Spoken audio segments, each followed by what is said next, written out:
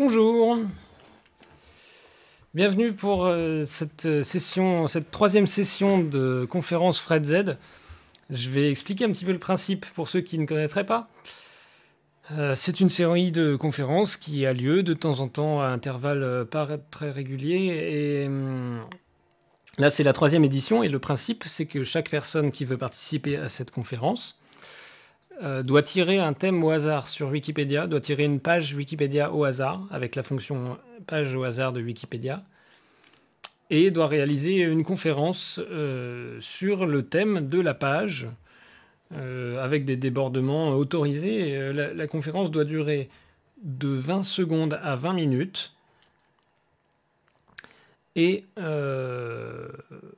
c'est à peu près la seule contrainte. Euh, alors pour cette édition de Fred Z, j'ai reçu six conférences, euh, plusieurs en vidéo, une sous forme de texte que je lirai, et une autre, euh, il y a aussi une conférence audio. Et la tradition veut que je lance ces conférences dans l'ordre alphabétique. C'est la première fois que d'habitude on fait ça dans un, dans un lieu réel. C'est la première fois qu'on le fait, que je le fais sous forme de live vidéo pour les raisons que vous imaginez. Je suis en train de parler. Je vais donc lancer la première conférence qui traite, je crois que c'est celle sur une variété d'abeilles, euh, voilà, qui commence par un C dans l'ordre alphabétique. C'est parti.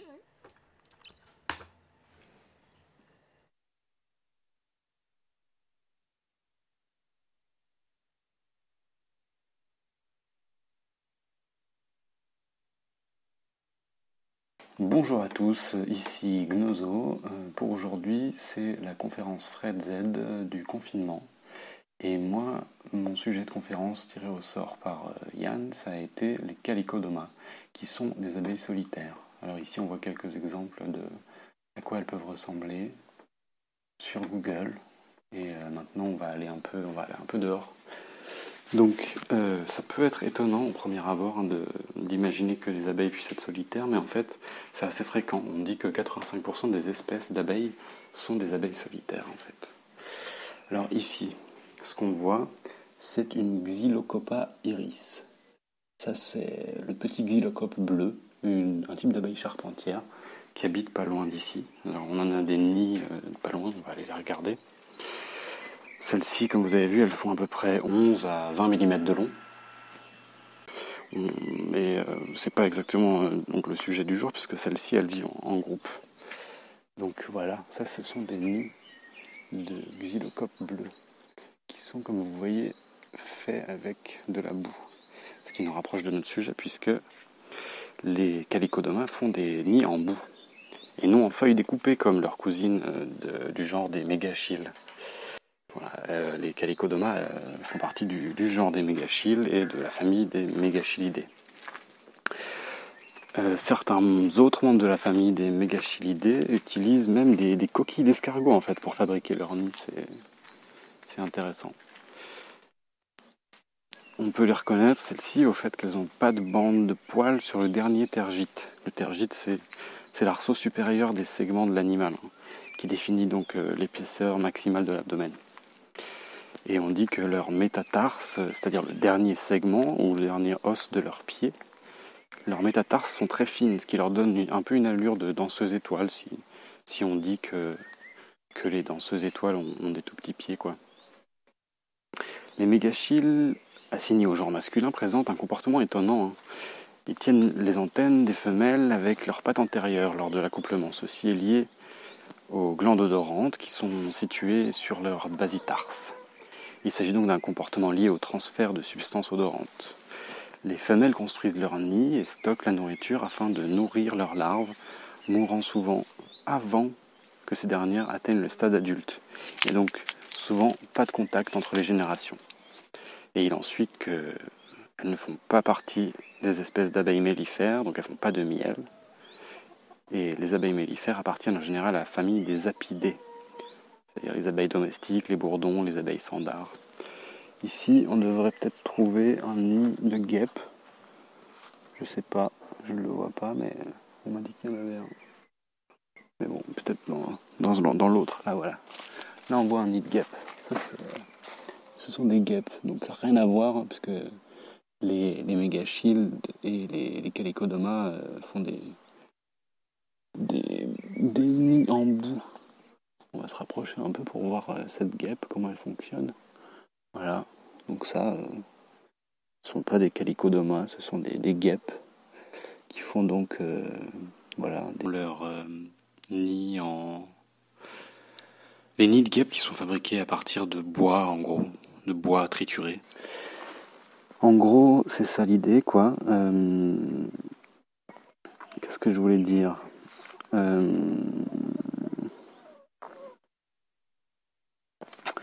Voilà, ouais. Les, donc les construisent leurs nids en argile, parfois même en résine, en fait.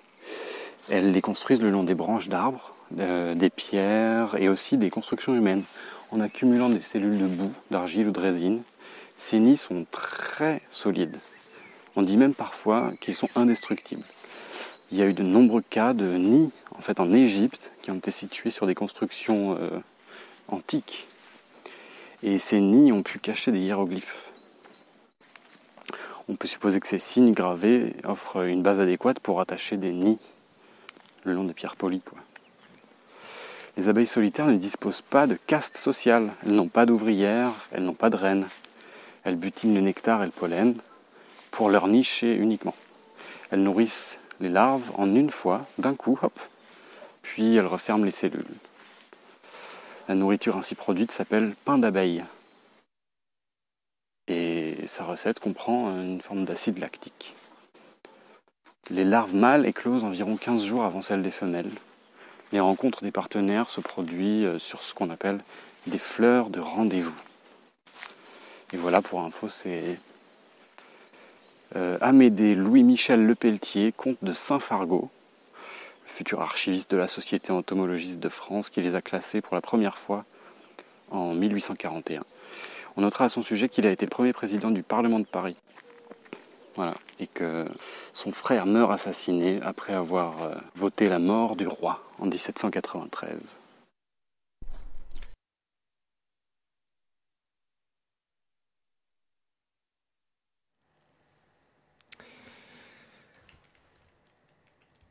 on va pouvoir passer à la deuxième conférence, qui est une conférence sur Charles Montier.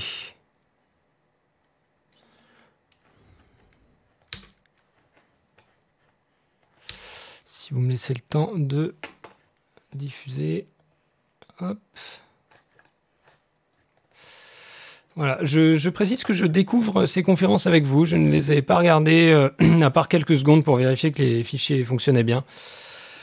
Alors celle-ci c'est une conférence audio, mais je vais passer cette boucle euh, en fond pour illustrer le propos.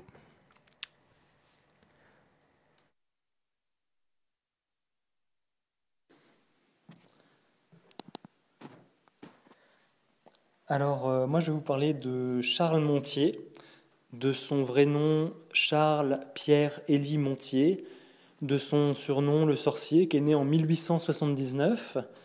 C'est un constructeur automobile et pilote de course spécialisé dans la course de côte. Et je vais m'arrêter un petit peu sur la notion de côte, car elle est importante. Euh, la côte, selon le CNRTL, Centre national de ressources textuelles et lexicales, c'est le versant d'une colline ou d'une montagne. Or, la vie de Charles Montier peut être vue comme une succession de côtes ascendantes et descendantes. Avant de parler de la vie de, Charles Montier, j'aimerais évoquer son homonyme, Charles Montier, car le schéma d'ascension et de descente s'y retrouve. Mais avant d'évoquer cet homonyme, une petite parenthèse. Je me suis posé la question suivante. Euh, si on parle de pente ascendante ou descendante, pourquoi dit-on une ascension et une descente et non pas une ascente ou une descension?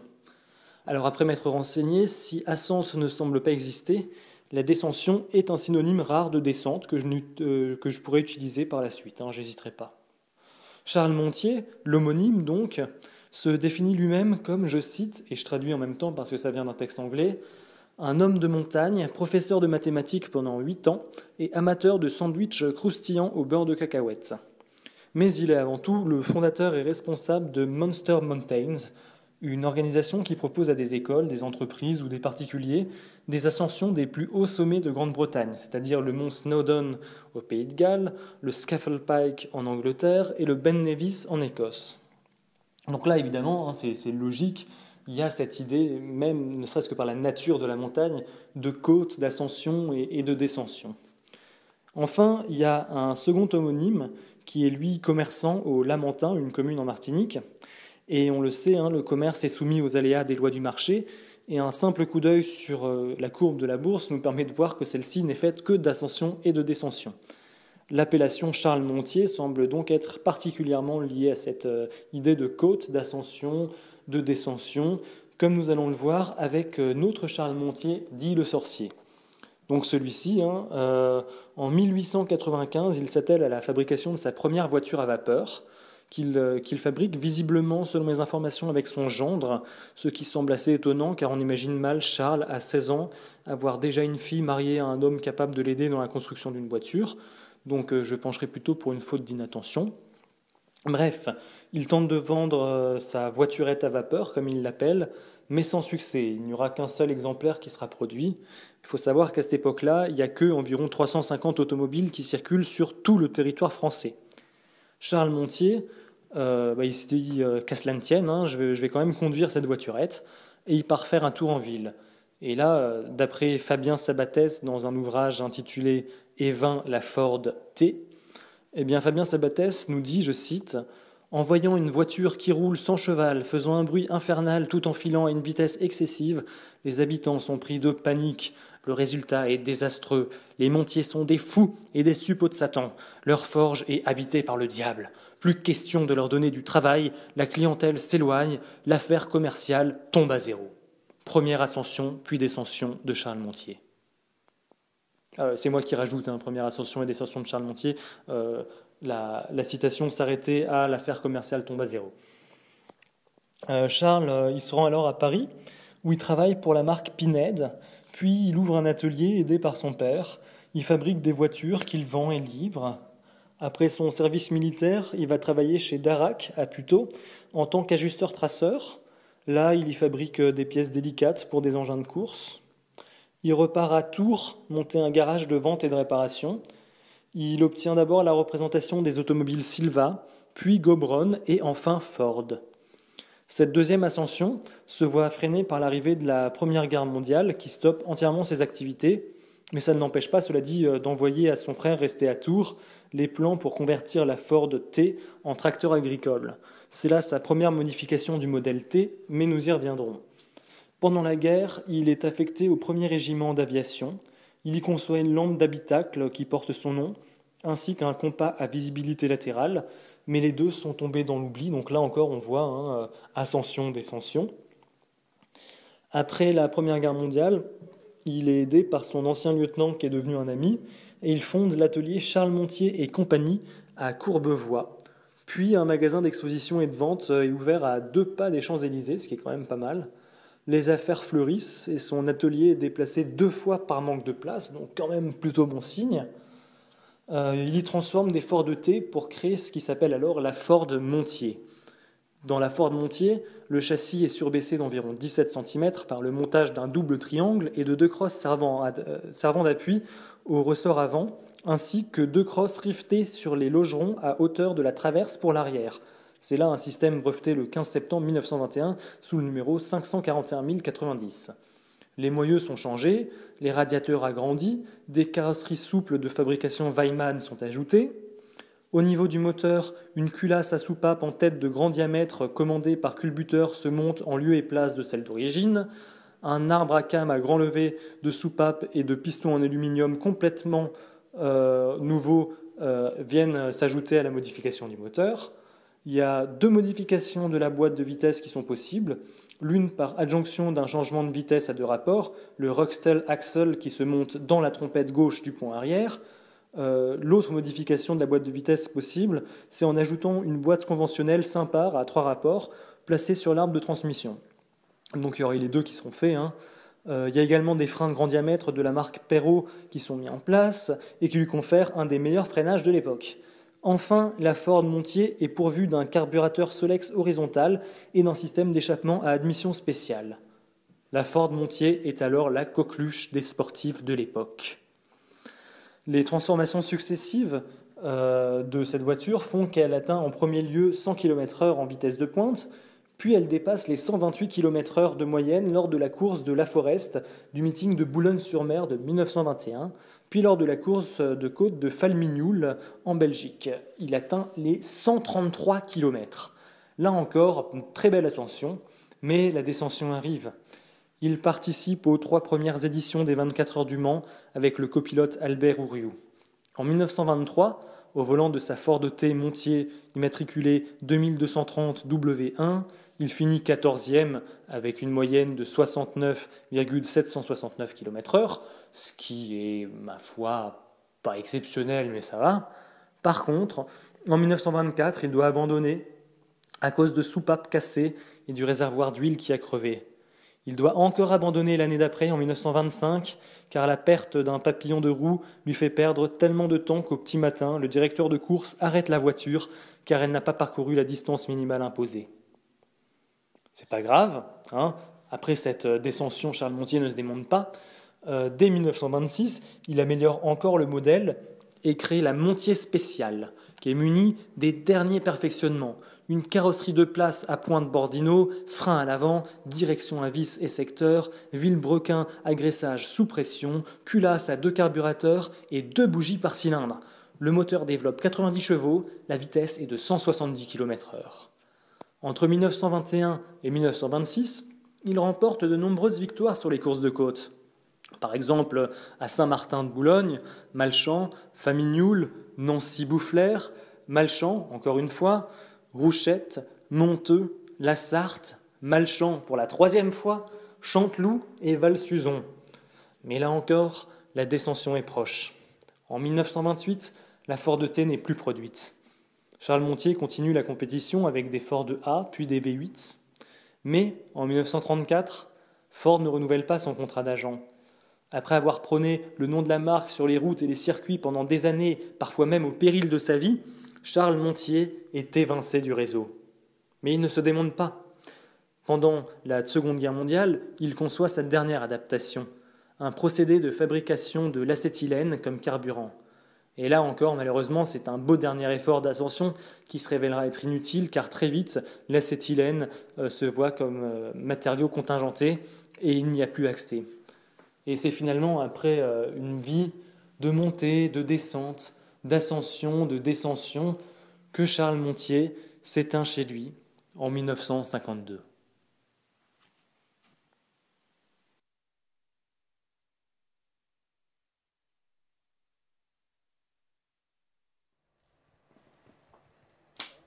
C'est ainsi que se termine aussi cette conférence sur Charles Montier.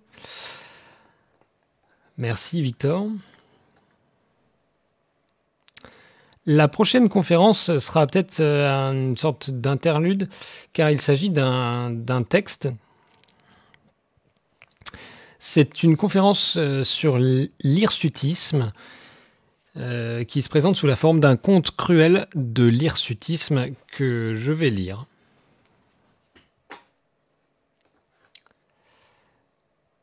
C'est une conférence euh, et un conte de Jean-Baptiste Cliche.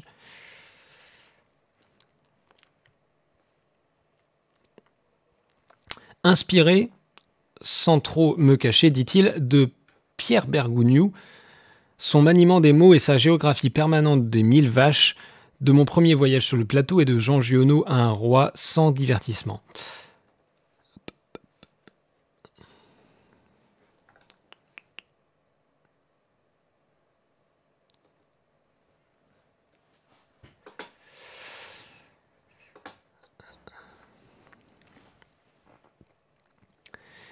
Bruit de moteur et de frein sur mon gravier.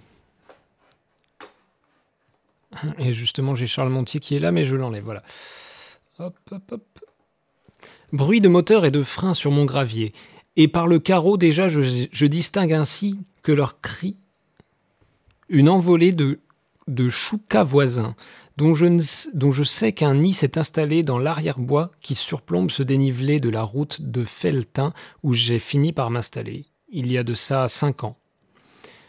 Comme chaque mois, depuis trois ans, Amédée profitait de la torpeur des montagnes limousines, du dimanche, et de s'accorder du temps pour me rendre visite. Dans cette bicoque perdue qui avait eu d'abord ma curiosité puis mon attention, jusqu'à devenir mon refuge personnel, celui où j'avais décidé de vieillir jusqu'à au moins, au moins jusqu'à maintenant, satisfait de cette lente vie de plateau des mille vaches.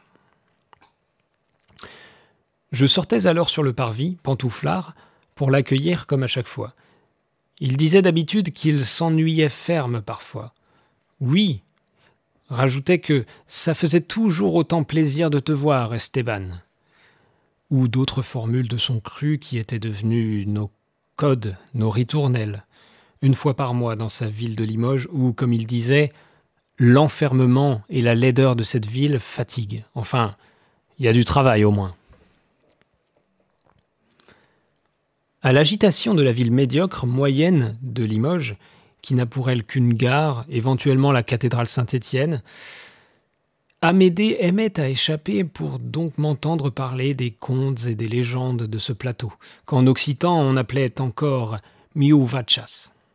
Mais soyons honnêtes, plus personne n'utilisait l'occitan dans ce coin où ça se perdait. Nous dirons alors mille vaches.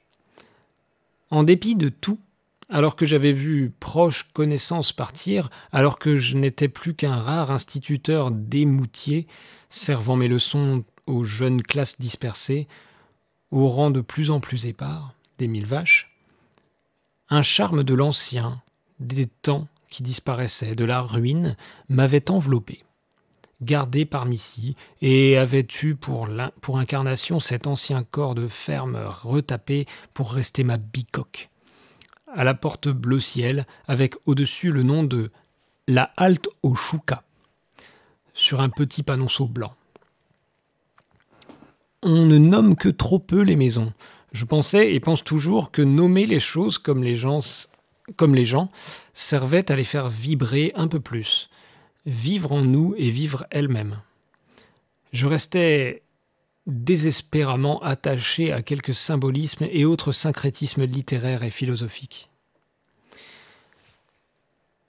L'après-midi se déroulait à peu près comme ça. Alors, tisane de tilleul, partie de domino accompagnée de quelques biscuits secs, des nouvelles de sa femme, D'autres de nos collègues partis vivre euh, la ville, qui avaient un peu le mal de la campagne, à vivre dans l'ideuse Limoges.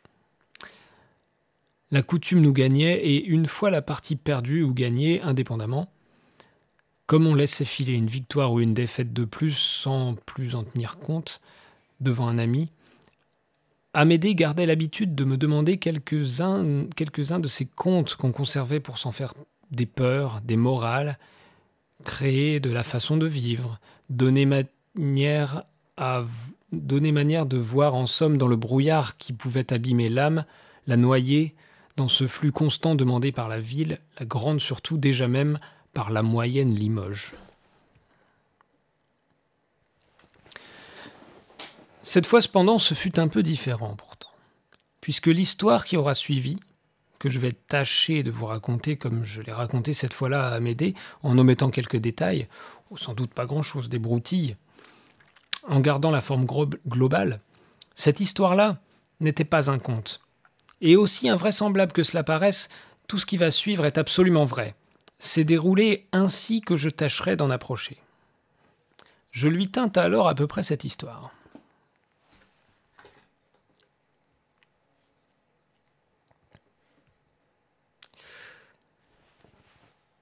Tu connais déjà, pas si loin d'ici, la découverte de Lascaux, euh, comment les enfants, en cherchant après leurs chiens, sont tombés sur l'ouverture que j'aime à penser bouffée de ronces, de branchages, comme encore un mur impénétrable de végétation masquant ce qu'était le chaos originel de notre préhistoire.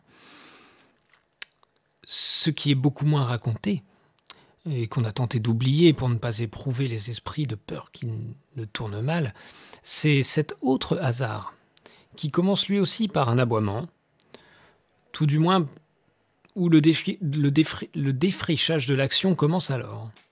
C'est grâce à un chien qui aboyait que le jeune André retrouva, piégé dans les rochers de la Molde, le premier cadavre, chair putréfiée, enserré aux poignets et aux chevilles. Seulement, ce qui entourait, ce qui entourait, ce n'était pas de la corde, comme on crut avant que le corps ne fût repêché, mais un assemblage très épais de poils humains. Tout ce que je te dis là, s'est passé il y a à peine plus d'un siècle, vers 1850 quelque chose. Mais on en retrouve encore la trace dans des dictons qu'on ne comprend plus. Tu sais, ceux qui disent d'éviter la bête poilue ou de reprendre du poil de la bête dont on a dévoyé le sens. Bref, à cette époque, alors, il n'était pas si peu courant qu'un berger, qu'un homme des villes aux alentours fasse une mauvaise chute dans un chemin de la forêt, se casse une jambe ou pire, et qu'on n'entende plus parler jamais de lui. Alors on n'avait pas tout de suite été alerté par ces disparitions qui ne peinent que les enfants, les maris et femmes directement touchés, qui s'en faisaient gré, que c'était ainsi alors. Seulement voilà, les pertes s'accumulèrent plus vite que d'habitude. On en causait. Les gens se rassemblaient sur les places et ne parlaient plus que, de ça, de la pauvre Sylvie, et de qui s'occupera de son fils, bon Dieu. Un sergent de ville fut dépêché, un couvre-feu instauré, on ne se déplaçait plus qu'à deux. Une équipe de battus fut formée pour chercher à retrouver les corps ou tomber sur un loup particulièrement gros une bête comme celle qui avait frappé le Gévaudan plutôt. Tout semblait plus compliqué, pourtant encore plus brumeux et douloureux que cette affaire-là. Ce corps fut donc repêché, méconnaissable, presque squelette par endroits. Ce ne fut que grâce à un collier qu'un Jacques reconnut sa femme, dont le prénom fut oublié, qui doit être encore gravé dans une des tombes anonymes de derrière l'église des Moutiers. Ce qui marqua les esprits, c'était donc ces cordes, non pas de lin mais de poils, qui affirmaient la pire hypothèse souscrite. Ce n'était donc pas l'œuvre simplement d'une bête, non, il y avait un homme, un monstre humain plutôt ici-bas. Ici, je tiens à préciser un détail qui aura son importance par ailleurs. Iphigénie, fille de berger, au caractère lunaire, à la peau d'albâtre, disaient les villageois, était présente quand on enterra la dépouille. Elle avait pu voir l'épreuve, la corde pileuse, tranchée et étalée sur l'établi dégagé du rémouleur. On retiendra qu'elle aura fait signer le prêtre en constatant que cet homme avait un bien beau poil pourtant. De ce qui suivit, quelques épisodes se sont perdus, puisque mon histoire euh, origine d'un aubergiste d'Ussel, chez qui j'ai passé quelques nuits et qui rapporte lui-même l'histoire de son enfance. L'important est conservé. Il y eut encore quatre personnes, deux fois deux groupes, qui disparurent en même temps, et trois corps retrouvés, l'un tout frais, les autres tout à fait squelettiques, encore, avant qu'un rebondissement arrive vraiment je dois te prévenir tout de même que tout ça devient de plus en plus sinistre, qu'on s'enfonce jusqu'au cou dans la bousaille, la boue et l'embrouillamini, que cela est pourtant nécessaire pour avancer. Je reprends donc. Amédée, je reprends donc Amédée. D'autres disparurent. Finalement, une personne vit enfin la créature. À ce stade de l'histoire, on refusait encore de croire qu'il y avait un humain là-dessous. Ni monsieur le maire, ni surtout le prêtre. Seule Iphigénie insistait, et insistait que malgré l'effroi, en dépit de tout, ça ne pouvait être qu'un humain, comme vous et moi, et que pour en arriver à de tels aboutissements, il a sans doute immensément souffert. Ce fut alors dans un bois du Pouet ou du Mont Gargent en français. Je me permets à m'aider d'utiliser quelques noms occitans pour rappeler qu'à cette époque, les gens des alentours parlaient encore largement, le parlaient encore largement, que seuls les enfants n'apprenaient plus que le français aux écoles.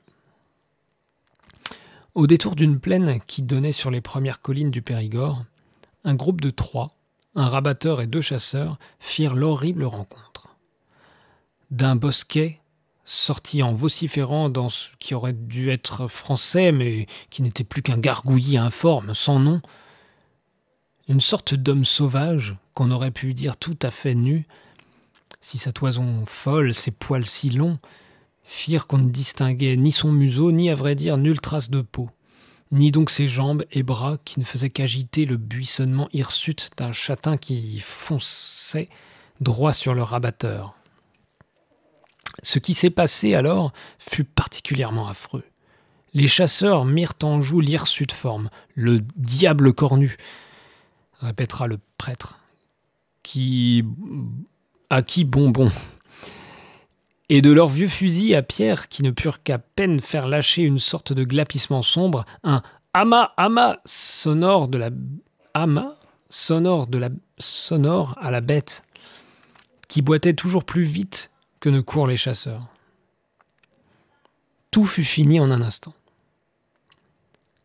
C'est l'action, comme elle fut rapportée par les chasseurs, qui laissèrent le rabatteur mourir.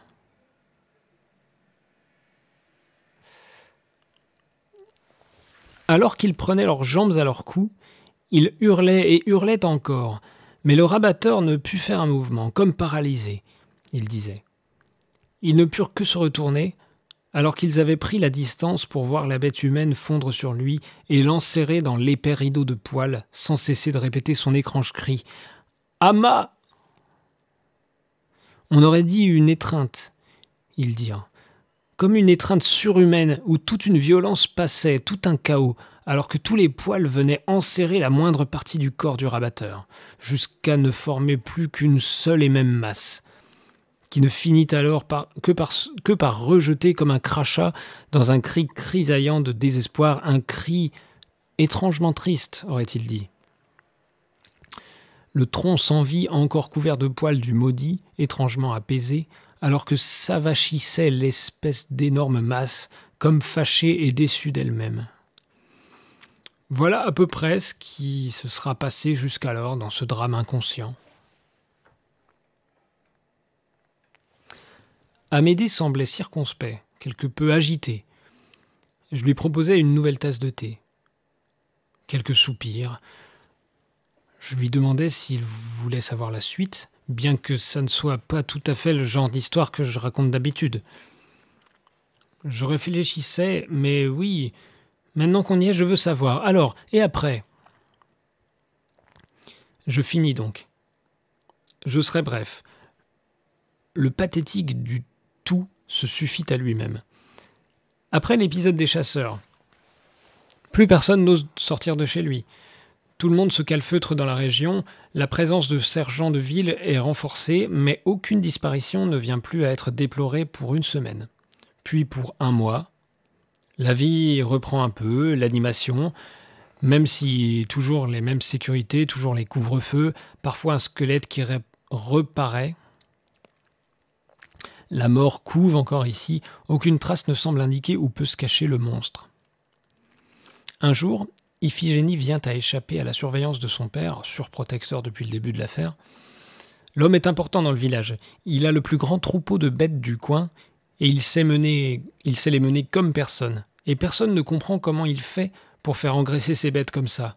Comme s'il leur conférait une force, un sortilège supplémentaire. Bref, l'homme est important. Et on l'aime par Émoutier.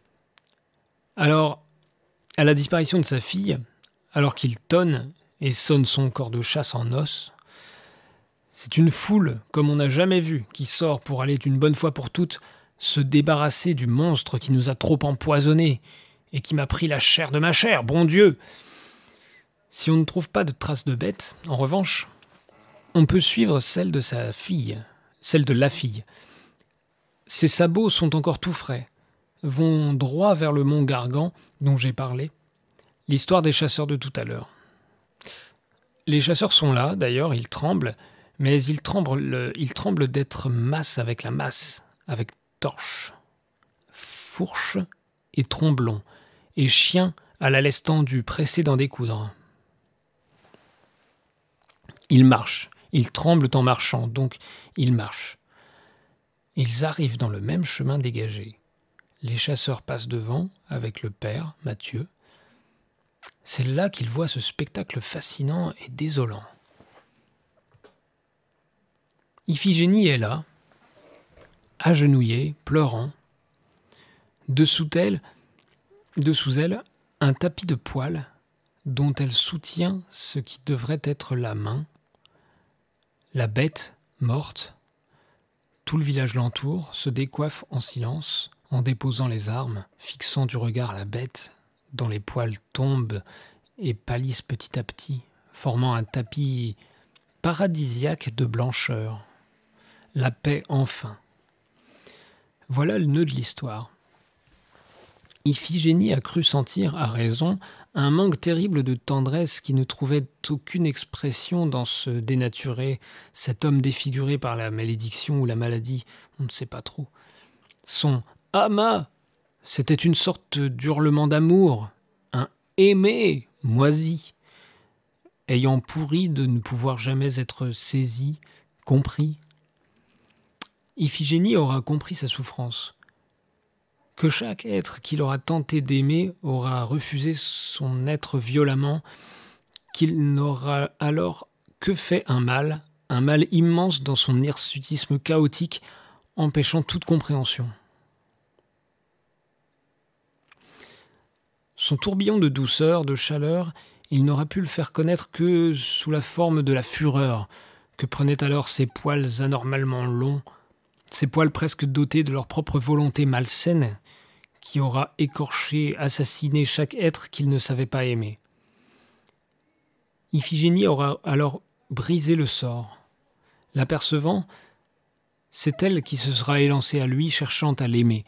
L'homme sauvage, saisissant sans comprendre vraiment qu'il ne pouvait être nocif, mortel pour cette personne qui finalement l'aimait pour ce qu'il était, se sera exterminé lui-même comme un mécanisme d'autodéfense contre son mal qu'il portait en lui comme une peste. Dans les bras d'Iphigénie, comme je te dis là, il se sera étouffé de lui-même, de l'intérieur, de l'âme, pour crever sans blesser plus rien. Un peu de souffle, puis rien. Une autopsie brouillonne. Les gens souhaitaient à tout prix comprendre, révélera les révélera des poils obturant les poumons. Une, autopsie brouillonne, les gens souhaitant à tout prix comprendre, révélera des poils obturant les poumons. Ça peut paraître invraisemblable, comme je te le dis là, à m'aider, pourtant, donc, tout est vrai. Je le narre comme une légende et je regrette de ne pas pouvoir abolir cette fin sinistre, dramatique et douloureuse. Je te vois pleurer, tiens, prends un mouchoir. Je constate, comme j'aime peut-être y lire alors l'entêtement de nos vies qui se répètent par erreur ou inconscience et qui errent jusqu'à retrouver parfois nos cauchemars préhistoriques, les horreurs profondes qu'on est capable de désenfuir tout à coup comme ça. Tu vois, ce bout d'histoire du terroir, ce semblant de conte, moi je le lis comme cette incompréhension inexprimable, profonde, qu'on a parfois, peut-être à m'aider alors. Notre solution serait de recréer du nihil, du nulle part, une forme d'amour neuve, d'ailleurs, un chant enfui de l'âme qui nous, agiterait, nous autres pantins, une fois encore sur terre. On va à notre extinction de toute manière. Homme bête, garou de je ne sais quelle lune, bienfaiteur comme criminel. Le blouson décroché de, de, la, de la patère, le blouson décroché de la patère, j'arrêtais encore à m'aider, bouleversé, sur le départ. Quelques mots? Oh, merci d'être passé, de l'attention. J'espère réveiller encore les vagues en toi. Avec toi, j'aime te voir, alors pour agiter ces pantins, je disais, on sera poussière. Mais sur terre, tant que j'y suis, j'aurai mes histoires, ces histoires d'avant et celles qu'on recréera. Cette preuve d'amour dont je causais, où la trouver? Où la trouver? Je ne fais qu'observer les histoires, les vies passées, puis en racontant des mots, puis en racontant des mots visés droit. Si je peux alors au moins, même pas non tenter de trouver cela, mais tenter de chercher. Là-dessus, il reprit sa route tandis que je lui faisais signe d'un au revoir comme à chaque fois. Et c'est la fin du conte. Conte cruel de l'hirsutisme de Jean-Baptiste Cliche.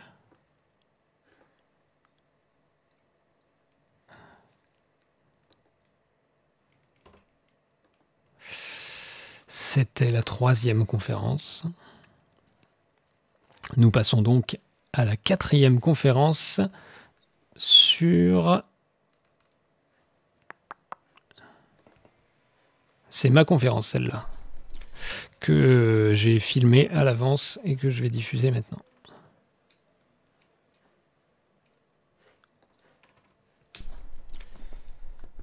Bonjour, je vais vous parler de Johannes Theodor Schmalhausen. Parfois on prononce son nom Ivan Fodorovitch Schmalhausen. Euh, Schmalhausen qui veut dire euh, maison étroite. Schmalhausen, oui, maison au pluriel, hein, il en faut au moins deux. C'est un botaniste allemand, mais il a travaillé pour l'Empire russe pendant quelques temps. Il s'est surtout consacré euh, pendant sa carrière à la paléobotanique, c'est-à-dire l'étude des fossiles des végétaux, et à la floristique, euh, l'étude des fleurs, j'imagine. Je vais principalement vous parler de, des différentes thèses sur lesquelles il a travaillé. Euh, mais à ne pas confondre ceci dit avec Ivan Ivanovitch Schmalhausen, qui est également un biologiste russe, mais euh, qu'on connaît plus notablement pour la loi de Schmalhausen, qui dit euh, qu'une population vivant dans des conditions extrêmes euh, ou des conditions inhabituelles va être plus susceptible, plus vulnérable à des changements infimes. Nous allons d'abord parler de sa première thèse, A pasledovetil nestie paberov Slakov, pour lequel il gagna une médaille d'or. Et ça parle de la succession des pousses dans les inflorescences des graminées. Les graminées, donc c'est une famille de plantes euh, dont font partie les céréales en particulier. Comment les fleurs poussent-elles sur les céréales? Déjà, on a une inflorescence de base qui s'appelle l'épillet, hein, c'est-à-dire un petit groupement de fleurs comme ça. Voilà, ça fait un épillet. Ça, c'est un petit peu notre, notre condition d'arrêt, si je puis dire. Mais plusieurs épillets vont être regroupés sur une inflorescence secondaire, et c'est là qu'il peut y avoir plusieurs types d'inflorescences. C'est-à-dire, on peut avoir l'épi, tout simplement. Par exemple, le blé, il pousse comme ça. On a, ça, ça c'est des épillets que je suis en train de dessiner. Il y a plusieurs épillets qui poussent en alternance sur une tige. Ça fait un épi. Très simple. Ensuite, euh, il y a le racème. On appelle ça aussi grappe, simplement. C'est comme un épi, mais avec une tige qui relie l'épillet à la tige principale. Hop. Là, par exemple, il n'y a pas encore de fleurs, mais quand il y en aura, ce sera des racèmes. Là, il y en avait une. Et enfin, on a une version un petit peu plus compliquée, c'est lorsqu'on rassemble plusieurs racèmes sur un axe principal. Par exemple, l'avoine, il a à peu près cette forme-là, et ça, on appelle ça un panicule. Ça, il n'y a pas encore de fleurs non plus, mais ce sera une ombrelle. Ici, une ombrelle. Ça, par contre, plusieurs embranchements successifs, c'est une cime.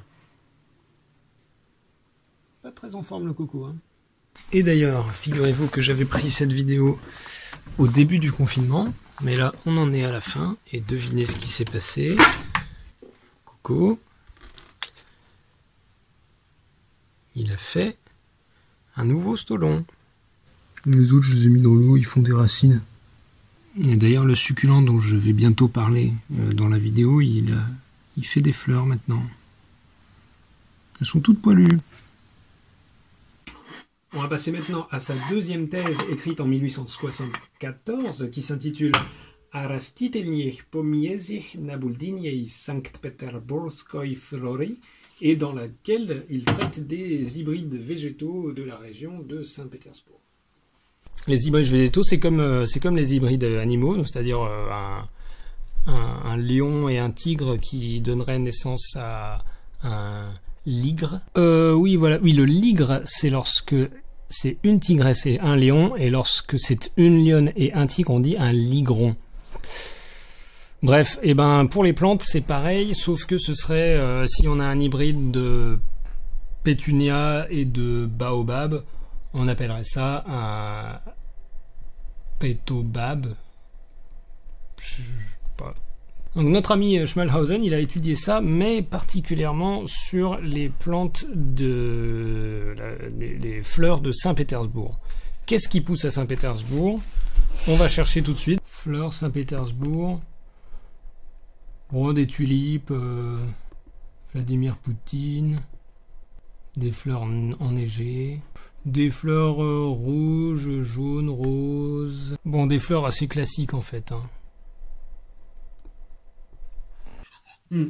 On va maintenant aborder sa thèse de doctorat, c'est-à-dire Isledowania nad razvitiem Mlechnach vmestilish rastenier, dans laquelle il semble aborder la question euh, du, des de l'évolution des contenants du lait végétal. Les plantes, elles ont des sucs lactés euh, qui leur servent à faire des réserves. Euh, par exemple, les plantes qu'on appelle succulentes, succulente. Bah, elles s'appellent comme ça, succulentes, parce qu'elles ont beaucoup de sucre, parce qu'elles font beaucoup de réserves. J'essaye de dessiner une plante succulente. Ça, par exemple, voilà, c'est des succulentes. Beaucoup de lait à l'intérieur. Alors la différence entre le suc et la sève, c'est que si on plante un couteau dans la plante, la sève s'écoule, alors que le suc, il reste à l'intérieur. Pourquoi il reste à l'intérieur Je ne sais pas trop, mais apparemment, ça semble avoir un lien avec des tissus, des poches en tissu dans la plante. Plein de petites poches. Prenez ça un peu avec des pincettes, je suis pas très sûr de ce que je dis là. Ah, vous aurez compris que j'ai traité euh, principalement euh, des thèses écrites par Schlamhausen et je n'ai pas euh, mentionné ces ouvrages en langue allemande qui me paraissent être des traductions de ces ouvrages russes et je n'ai pas mentionné non plus ces autres ouvrages comme Kratkie Ushibnik Botaniki dla studentov medicini i начинающих naturalistov. Je n'ai pas parlé non plus de Srednie i Южной России, Krima i Severnogo Kafkaza, rukovodstvo dla определения семейных и вещих сопоровых растений, ni son équivalent pour la partie sud-ouest, à savoir Flora jugo-zapadной России, tu jest gubernier Kievski, Volnyski, Podolski, Poltavski, Czernigovski i смешных местностей. Руководство для определения семейных и вещих сопоровых растений qui est uniquement le titre de l'ouvrage. Merci d'avoir écouté cette conférence sur euh, Ivan Fodorovitch Schmalhausen. À bientôt.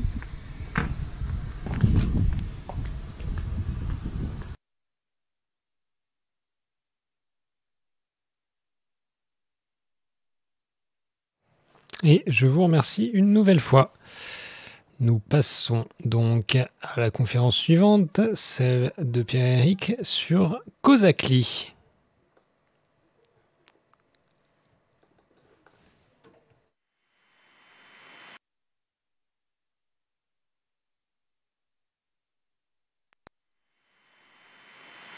Kozakli. Kozakli, anciennement Amamorta, est une ville et un district de la province de Nevşehir dans la région de l'Anatolie centrale en Turquie.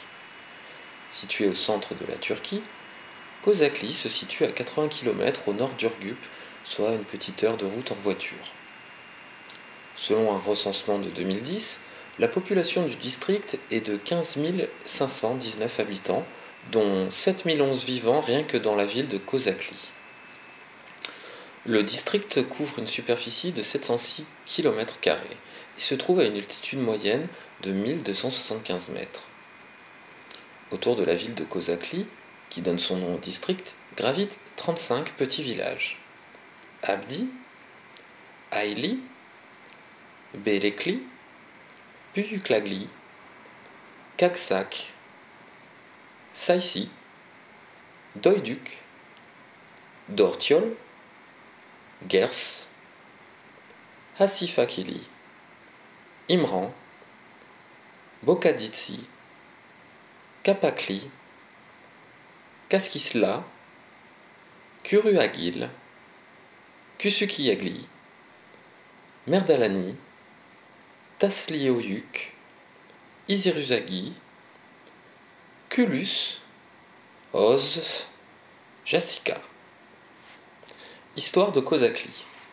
Le district a été créé en 1954 avec la fusion des villages de Hamamorta, Burunkuk, Baglika et Kozakli, situés à proximité les uns des autres. Les habitants du district de Kozakli sont d'origine tribale turkmène. Mais à la suite de la politique de sédentarisation des nomades vivant dans la région à la fin du XVIIIe siècle, la tribu Assikon, établie dans les régions septentrionales de Nevşehir, est également devenue l'une des plus grandes tribus établies dans le district. L'origine du nom Kozakli. On ne sait pas exactement d'où vient le nom Kozakli. Il existe différentes rumeurs à ce sujet, dont voici deux versions. Première version. Une personne nommée Kozoglu, qui a toujours son mausolée dans le district, aurait détourné une source chaude depuis les rochers alentours pour créer un terme. Dans les villages environnants, on a retrouvé différents écrits sur des tombes anciennes indiquant que le district s'appelait à l'origine Amamorta. L'examen approfondi des pierres tombales révéla qu'ensuite une personne nommée Kozoglu, ayant vécu pendant la période seljukide, aurait donné son nom au district. Deuxième version, venant d'Asie mineure, un nomade appelé Kozak aurait été le premier à se sédentariser avec sa tribu dans cette région qui était encore une zone boisée à l'époque dans différentes provinces de Turquie, telles que Iskenderun, Manisa, etc., on peut retrouver ce nom de famille. Il est généralement admis qu'il provient du mot koza, qui signifie cocon en turc, et que l'expression kozakli a été naturellement utilisée pour nommer les premières auberges et lieux d'hébergement à Adana, également réputé pour sa production de coton. Les deux noms se seraient ensuite propagés aux régions intérieures et occidentales, il est possible qu'un parallèle ait été fait entre la blancheur de la vapeur montant des sources chaudes de la ville de Kozakli et celle du cocon de coton. Selon d'anciennes rumeurs, certaines familles cosaques seraient restées dans la région alors que d'autres auraient migré vers l'ouest ou le nord. En turc, Kozoglu peut se traduire par fils de Cosaque, ou plus poétiquement, fils du cocon. Il est ainsi fort probable que les deux versions de l'histoire présentées en opposition dans nos sources historiques soient en réalité complémentaires pour comprendre la fondation de Kozakli. Les sources chaudes de Kozakli. Le district de Kozakli est réputé pour ses stations thermales que les habitants appellent aussi élixir de jeunesse en raison de leurs propriétés curatives. L'élixir de jeunesse ou élixir de longue vie est une potion ou une boisson légendaire qui aurait la vertu de prolonger indéfiniment la vie ou de conserver indéfiniment sa jeunesse. La recherche d'un tel élixir est un des buts de l'alchimie. Toujours est-il que les eaux souterraines de Kozakli, qui remontent à la surface à partir d'un cratère bouillant, se différencient des autres eaux thermales en raison du radon qui se présente sous forme de gaz et qu'elles contiennent. Le radon est connu pour ses vertus rajeunissantes, car ce gaz assure le renouvellement des cellules, si bien que les eaux thermales de Kozakli sont qualifiées d'élixir de jeunesse. Ces eaux ont des bienfaits sur les rhumatismes, les pathologies psychologiques, l'anémie, la goutte, les douleurs articulaires et osseuses, les douleurs de l'estomac, de l'intestin, de la vésicule biliaire, les maladies de peau, ainsi que l'arthrose. Elle favorise également le renouvellement des cellules suite aux opérations et renforce les cheveux et les ongles. Les malades arrivant sur brancard repartent en marchant. Les complexes thermaux sont alimentés d'eau souterraine d'une température de 93 degrés Celsius. Leurs propriétés curatives appartiennent au groupe A et C, classification en groupe selon l'Union allemande des eaux thermales, qui sont riches en sodium, calcium et chlore et permettent à Kozakli d'acquérir une certaine notoriété dans le secteur du tourisme de santé. Ainsi, les nombreux hôtels de Kozakli sont dotés de plusieurs piscines d'eau curative de différentes dimensions ainsi que de nombreux aquaparks à destination des enfants. L'agriculture. L'agriculture occupe une place importante dans l'économie du district. La superficie des terres arabes est de 675 210 décars. L'agriculture irriguée est pratiquée dans 7% des zones agricoles et l'agriculture sèche dans 93%. La santé. Il y a 6 centres de santé dans le district, un dans le centre et 5 dans les villages et les villes. Il existe également des maisons de santé dans 7 villages. Les services d'urgence ont commencé à opérer à Kozakli à partir du 15 octobre 2001 et fonctionnent 24 heures sur 24. L'hôpital de kinésithérapie de rééducation physique du district de Kozakli comporte 120 lits et a été ouvert par le ministre de la Santé fin 2010 sous la responsabilité de l'hôpital d'État de Nefseir. Il s'agit d'un établissement de santé hydrothermale qui effectue principalement des traitements de réhabilitation en utilisant l'eau thermale dans le traitement des patients et la rééducation physique de patients paralysés. Pour fournir un service de qualité dans ces établissements, 593 formations ont été dispensées dans 29 communes différentes, y compris au centre du district, dans les villages et les villes, par la direction du centre d'éducation publique. À l'issue de ces formations, 5221 femmes 1144 hommes et 6465 stagiaires au total ont reçu leur diplôme. L'énergie. L'énergie électrique est arrivée dans le district en 1971. Elle a été installée par la compagnie Tech et est présente dans toutes les communes. L'électricité est fournie à partir du centre de transformation de Calaba, dans le district d'Avanos. Enfin, la majorité des résidences et des lieux de travail du district sont chauffés par la géothermie issue des sources thermales. Les lacs et les barrages. Il n'y a pas de lac dans les districts et la construction du barrage de Toyduk, commencée en 1998 dans le village de Toyduk, se poursuit. La construction du barrage du village de Tachioyuk est quant à elle terminée et celui-ci est actuellement en phase de collecte d'eau.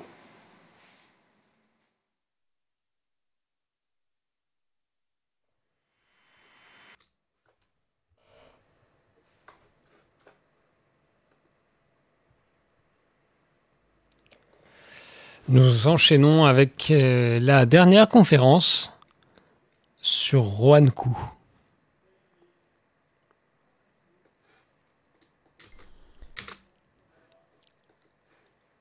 C'est une conférence d'Adrien.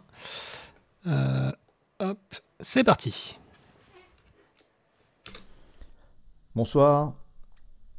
Je vais vous parler de Roanko. Je vais vous les hein. R-O-A-N-N-E-C-O-O.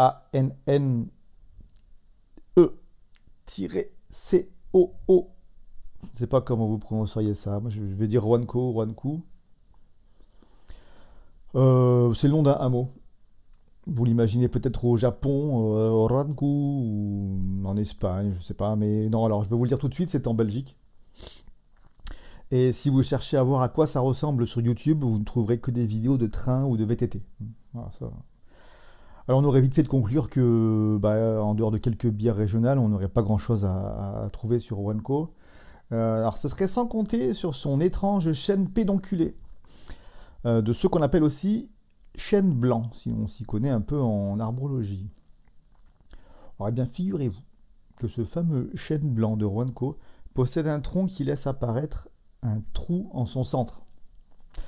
Un vrai grand trou, assez grand pour euh, qu'on y cale une figure de Marie. Alors là, forcément, il y a une question qui se pose. Euh, je suis d'accord. Euh, pourquoi caler une figure de Marie dès qu'on a la place pour ça? Pourquoi pas une photo de King Kong Mais l'autre question, c'est comment un, trou comme ça peut se former dans un arbre bon, bah, écoutez, on a, plusieurs théories là-dessus. Je, vais vous parler de la première, hein, pour théorie numéro 1 le fait que certains arbres, euh, ben, parfois, chopent des cancers pas cool, qui leur donnent des boursouflures gigantesques. On pourrait imaginer que les docteurs euh, en arborologie euh, aient ôté à ce chêne sa tumeur, et que ça l'aurait laissé avec ce trou béant au milieu de ce qu'on pourrait considérer comme étant sa, poitrine. Moi, je ne crois pas en cette théorie. Je crois pas, même si c'est celle que, défend Riton dans le village voisin, je n'y crois pas, car le tronc du chêne est tout à fait propre, sans cicatrice apparente. S'il y avait eu une opération, euh, on pourrait nettement déceler les, séquelles de cette dernière. Ce n'est pas le cas, donc je. en plus, est-ce qu'on aurait vraiment osé placer Marie dans un espace autrefois occupé par une tumeur maligne Si ça, c'est pas un sacrilège, je vois pas bien ce qui peut en être à, part, à pisser sur la statue de Marie, mais c'est pas si facile parce qu'elle est un peu en hauteur quand même. Théorie numéro 2, alors celle-ci part de l'idée que quelqu'un aurait volontairement guidé l'arbre vers cette forme. Vous connaissez ces bâtons qu'on utilise comme tuteur hein, pour, donner, euh, pour aider les plantes à, pousser droit. Il y a des gens beaucoup plus, euh, beaucoup plus imaginatifs qui utilisent des, tuteurs de formes très complexes pour donner des, des, formes euh, quasi naturelles, enfin en tout cas sans, sans, couper quoi que ce soit, fabriquer des tables, des arbres avec des, des tuteurs, c'est de la menuiserie très lente, hein, des tuteurs courbés, etc. On peut fabriquer des, oui, des meubles, des, des, bâtiments comme ça. C'est très très lent. Euh, on n'a pas de, traces, de, on n'a pas de preuve hein, que, c'est cette façon-là qui a été utilisée, mais euh, oui. par contre, c'est vrai que, que, si on allait chier sur une croix qui représente Jésus, ça serait plus sacrilège, hein, ça d'accord, que de placer Marie dans une tumeur ou de lui pisser dessus. Mais il y a plein d'artistes qui l'ont déjà fait, donc bon, vous auriez l'air un peu, un peu débile ou, subventionné. La théorie numéro 3, alors elle évoque l'idée d'une contamination radioactive. C'est une théorie qui date des années 80, à l'époque on était traumatisé par Tchernobyl, etc. Même si ça revient un petit peu.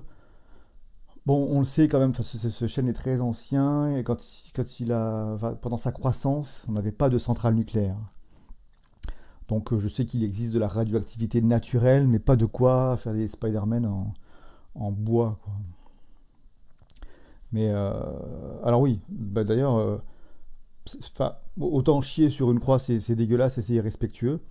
Autant placer Marie sur une ex-tumeur, ça, va plus loin que la blague vulgaire. En fait, ce serait un peu comme insinuer que la maman du petit Jésus, c'est vraiment une, connasse qui cherche à, nous sucer notre vie jusqu'à nous envoyer bah, au paradis ou en enfer. Enfin, dans les deux cas, c'est pas. Il y a un cas plus sympa que l'autre, paraît-il, mais à vérifier.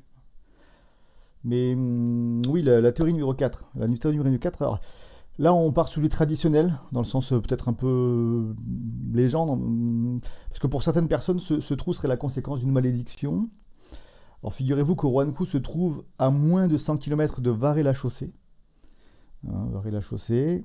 Euh, W-A-R-E-T. C'est là que fut torturée Anne de Chantraine avant d'être exécutée pour sorcellerie. La jeune fille, paraît-il belle et intelligente, euh, avait été élevée par un vagabond alcoolique qui aurait très bien pu vagabonder alcooliquement euh, à Roanco. Alors d'aucuns pensent donc que Anne et son père ont dormi près de cet arbre lors d'une nuit maudite d'un XVIIe siècle, aussi torturé que tortueux les tortionnaires. Alors, bon, une nuit, une nuit tortueuse peut-être, mais bah, le XVIIe siècle, euh, c'est quand même. C'est vrai qu'en même temps, c'est un siècle tordant. C'est quand même à ce moment-là que, Molière a écrit ces histoires de, de docteurs qui, se foutent des plumes dans le cul. C'est vrai que c'était drôle. Mais de là à imaginer que, parce que c'est ça la théorie, hein, que sous l'influence du diable, le, le tronc oh, se serait séparé en deux pour poursuivre sa croissance en, formant des cornes, voilà, sous, par, l'intercession de, ces deux, de cette sorcière et de, son père, le diable serait venu pour, euh, pour se représenter lui-même à cet endroit-là. Et après, c'est le passage d'un super curé un peu plus tard. Euh, bah, voilà, il arrive dans la région et boum, ça, ça pousse les deux troncs à se réunir, à annuler ses cornes et ça laisse un trou. Bon, alors oui, dit comme ça, ça, ça paraît un peu idiot, mais j'ai essayé de le dire autrement et ça paraissait idiot aussi, quoi. Et euh, alors oui, par contre, il y, a, toujours des gens, c'est vrai, pour dire que, placer Marie sur une ex-tumeur, c'est au contraire un moyen de remettre de la pureté là où il y avait du mal. Et de bénir l'arbre en quelque sorte pour le préserver de nouveaux cancers. Mais à ce compte-là, pourquoi euh, on ne placerait pas de petites figurines de Marie en acier chirurgical à la place de chaque tumeur qu'on enlève dans un organe humain On pourrait aussi tatouer des, gueules de Marie. Euh, à la place de chaque mélanome qu'on a retiré à temps. On le fait pas.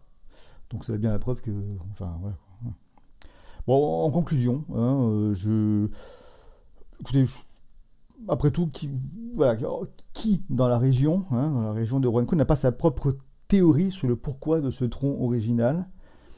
Euh, bah, beaucoup de gens, en fait. Hein, vous n'avez pas idée à quel point des tas de personnes peuvent passer devant un tel phénomène euh, sans s'en émouvoir. Beaucoup de gens, beaucoup de gens s'en foutent, il faut, le dire, faut le dire.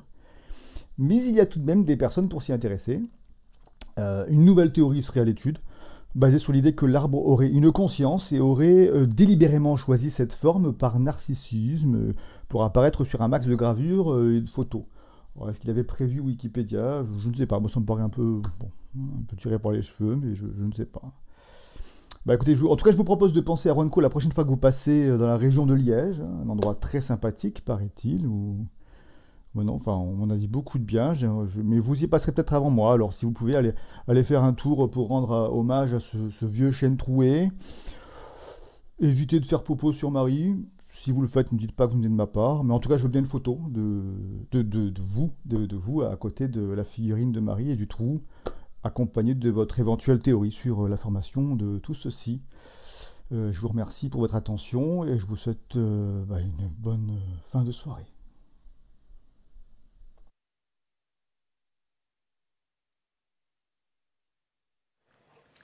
Et ainsi, me revoilà. C'est donc euh, la fin de ce cycle de conférences. Merci et bravo à tous, euh, c'est-à-dire tous, c'est-à-dire euh, Benjamin Agnoso, Victor Amarok, Jean-Baptiste Clich ou Cliché, Jean-Baptiste Clich, Pierre-Éric Janken et Adrien Enkidou. et avant de vous dire à bientôt pour la prochaine conférence, j'aimerais qu'on tire à présent les thèmes pour les thèmes de la, prochaine euh, conférence, euh, au moins pour les personnes qui ont présenté cette fois-ci. Euh, c'était des conférences de qualité. Alors je vais essayer de mettre Facebook en... de mettre Facebook, de mettre Firefox.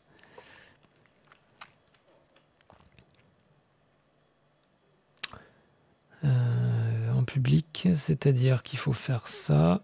Tac.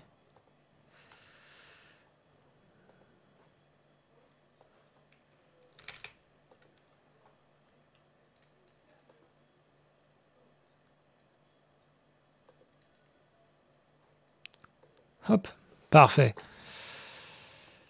Euh,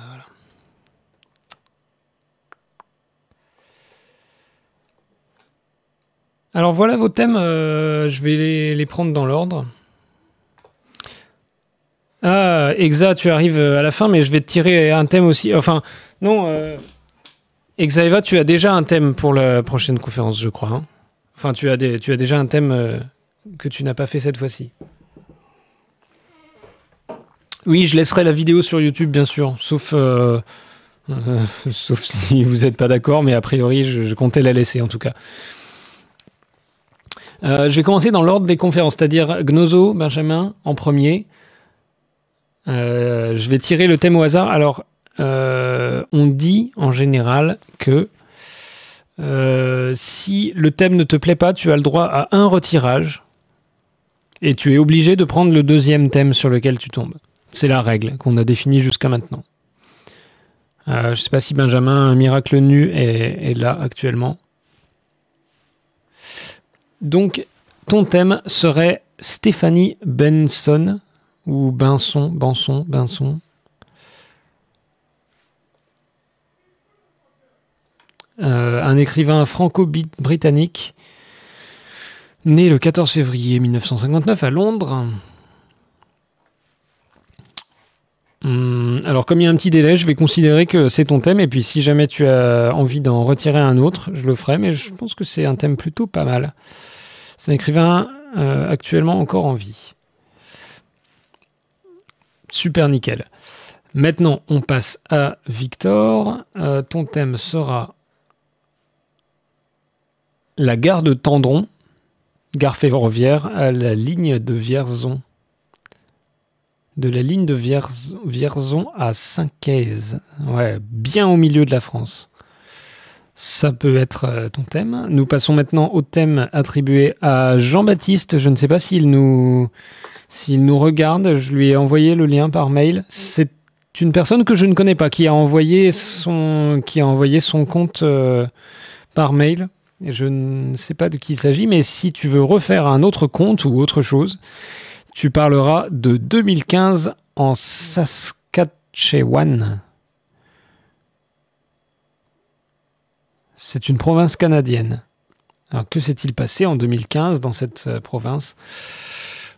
Voilà. Euh, on passe maintenant à, ah ben, à moi-même. Et moi, je parlerai de de la, rue, de la rue Raoul Dufy. Euh, de, la rue, Raoul Dufy à Paris, eh ben, ma foi, ça me va. je garde ça de côté. On passe maintenant à Pierre-Éric qui nous parlera de d'un club allemand de tennis de table, le TCC Zugbrück, Zugbrück Grenzau. À toi de voir si tu veux essayer de retirer ou pas. Et Adrien, enfin, euh, tu nous parleras de Bonaventure Hippolyte Sabatier. Euh, qui est un général français de la Révolution de l'Empire. Est-ce qu'il y a d'autres personnes qui regardent la vidéo en ce moment et qui ont envie d'avoir un thème? Je pense que oui, puisqu'il y a euh, combien il y a, il y a 8 personnes qui regardent? Donc il doit bien y avoir des gens qui n'ont pas un thème. Manifestez-vous et euh, sans obligation de participation, vous aurez un thème.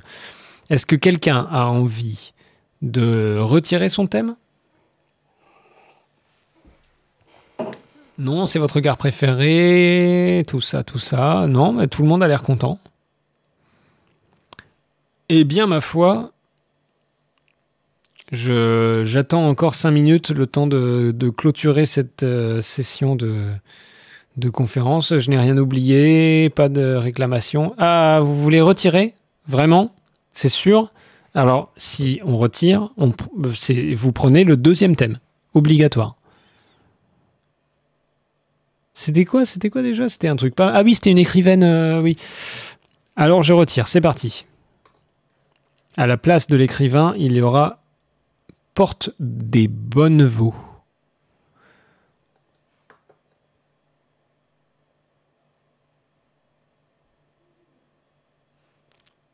Porte des Bonneveaux.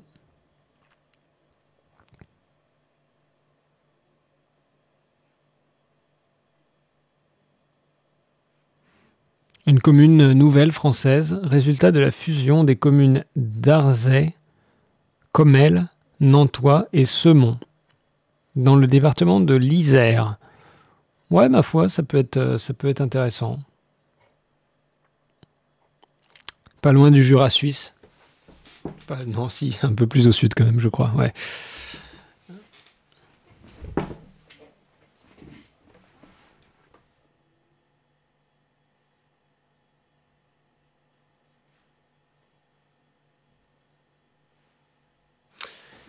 Eh bien, s'il n'y a pas de réclamation, je vous souhaite à tous euh,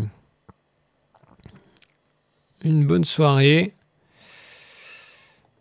Et merci beaucoup à tous. hein. Je suis toujours très content de faire ça. J'espère en refaire une autre. Je pense qu'en fait, euh, j'hésite à faire les prochaines en vidéo euh, telle quelle ou en, ou en physique réelle euh, comme on avait fait les fois d'avant. Il faudrait faire tantôt l'un, tantôt l'autre, peut-être, je sais pas. Mais j'aime bien ce format, en tout cas, je trouve ça pas mal.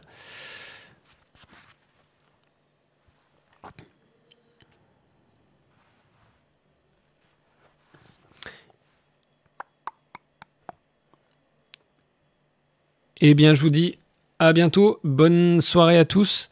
Euh, bon déconfinement et bon, bonne